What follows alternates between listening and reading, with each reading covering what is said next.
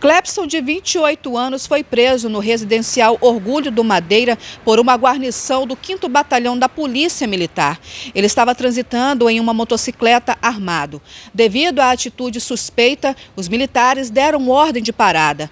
Durante a abordagem, foi encontrado na cintura dele um revólver calibre 38.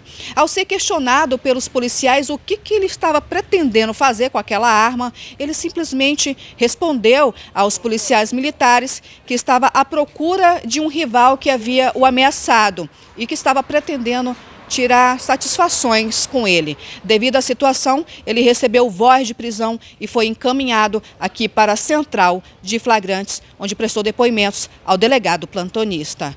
Com imagens de Juarez da Silva, Eliane Alves para o Rondônio. Gente.